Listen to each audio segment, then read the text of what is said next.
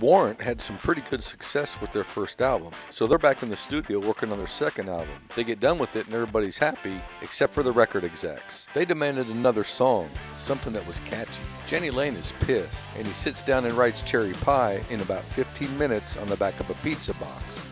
The execs love it. They name the album after it. What does Lane say? I hate that song. I had no intention of writing that song.